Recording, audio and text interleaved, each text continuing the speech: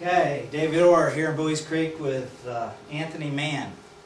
Anthony is uh, a computer aff- aficionado, right? To say the least, right? Yeah, yeah. And you came here wanting to learn a little bit about maybe Stack and Tilt, or you've heard about it and Mhm. stuff. Okay, um, what we're going to go over is we're going. I have two videos on the website um, talking about Stack and Tilt, and then also about 3D. Mhm. And we were just we came up with the idea real quick here to just kind of combine the two videos into a simple segment. Yeah. Okay, um, basically we're going to study um, the uh, three planes of motion, two directions each, so that's six. Three times two is six, last I Mhm. checked, right? Um, the first thing we're going to do is we're going to go ahead and stand up straight, okay? We're going to bend forward, okay? This would be called flexion. And then we're going to stand up, this would be extending Mhm. flexion and extension. And that's for all parts of the spine. That could be just the head, the neck. Okay, extend it. Feel like the throat's longer. Feel that? Yeah. Okay. All right. Now the, just the upper spine. Okay, and, and up. Okay. Mhm. All right. Now, um, also we can do the uh, the uh, lower back. Okay. Okay, and then also just the tailbone. Rotate the tailbone Mhm. okay, and pelvis, okay. All right, so that all that plane of motion is forward and flexing forward and extending back, okay, Mhm. and up, okay. Now, the frame of reference could be the golf ball. An external frame of reference would be the golf ball. Okay. So we are toward the ball, away from the ball. Mm -hmm. Okay, same thing with your tailbone. Toward the ball, away from the ball. Yeah. Okay.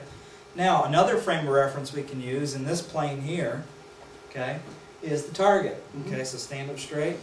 Let's bend toward the target. Let's bend away from the target. Okay, that's lateral bending. Mhm. Okay. And we have rotation, clockwise and counterclockwise. So there, there you go. So we're going to use, and we're going to see how these planes change a little bit. Okay. Okay?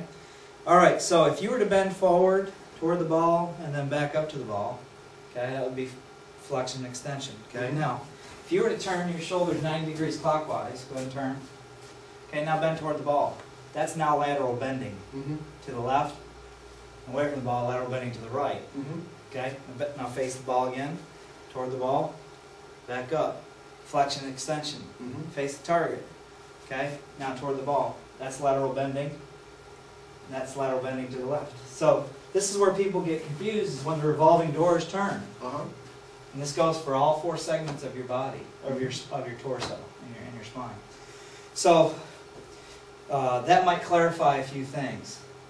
Okay, so the golf, the, the, the pivot or the, the the golf strokes pivot is not 100% pure rotation Mhm. as might some might lead you to believe.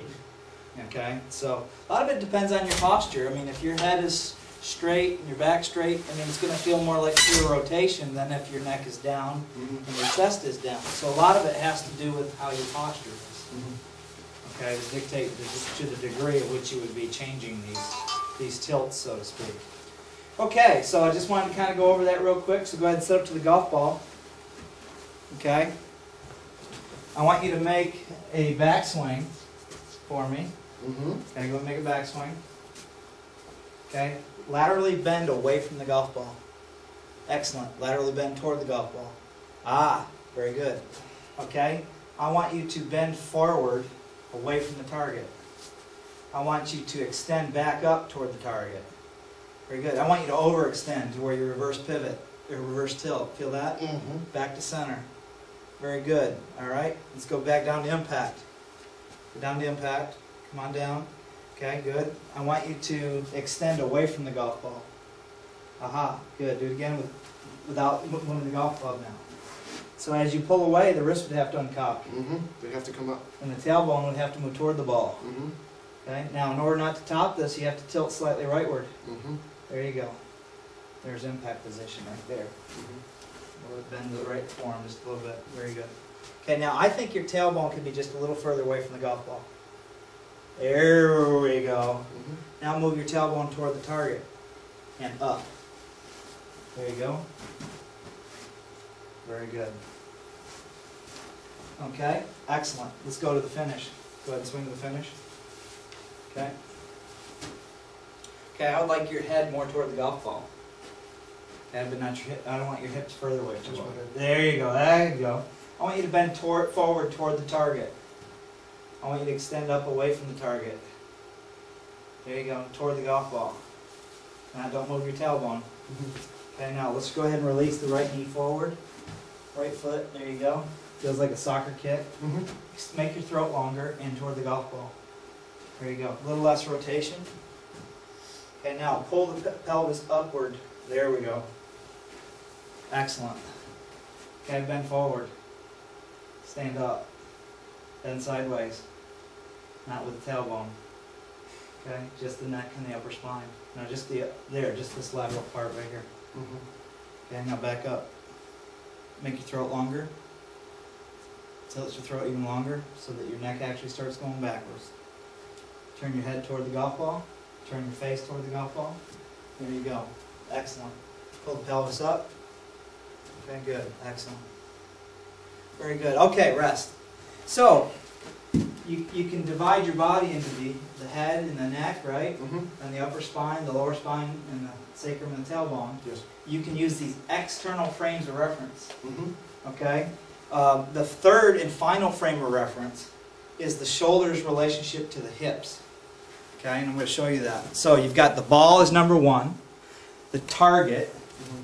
is number two, Mhm. and then you have the frame of reference of your shoulders in relation to your hips. See how my shoulders are out in front of my hips? Yes.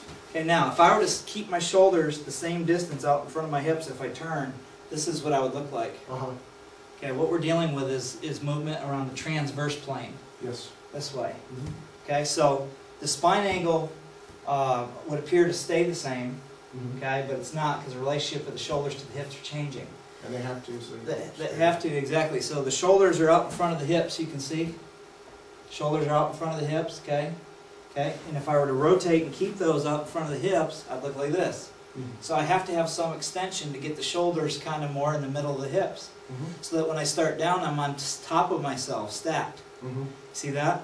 If my shoulders are out in front of my hips too far and I start down, I've got and I got any hip slide at all, I might have too much second tilt. Mhm. Shifts the plane to the right. Yeah. That cool? Mhm. Okay. Um, I'm sure Sam Snead probably felt like he stayed his shoulders in front of his hips and then he kind of tilted back in front and then he centered up and he rotated and then he extended up like this. Mhm. Okay, so that that that relationship is changing. So the three ra- frames of reference. Am I getting closer to the ball or further from the ball? Closer. Okay, am I away from the target, toward the target? Would be the second one. Mhm. And the third frame of reference is where's my shoulders to the, my hips? Okay, so as I turn back, here the shoulders have stayed the same relationship to the hips. Here they're more in the center. So when I start down there, okay, if I stay, this is kind of what it would look like if I didn't change that relationship. Uh-huh. So you can see that these these three motions are changing. Mhm. Definitely. Yeah, isn't that pretty cool? They have to work in concert. Ah, concert. They have to be synchronized and sequenced at certain speeds. Mhm. Okay, so what would happen if I started tilting toward the target too early and not enough rotation? I'd look like this. Mhm. What if I uh, stayed, kept the shoulders in the same relationship to the hips and I turned early? See how my head would move? Mhm. So there's a certain little blending of when and how much and where you change these little tilts. Both, both going back, maybe reestablishing coming down, and changing going through. Mhm. Okay? So I thought you'd like that and put that on a video clip. Yeah, I do like it. Okay? All right. Appreciate it. Yeah. Anthony Mann. Three frames of reference.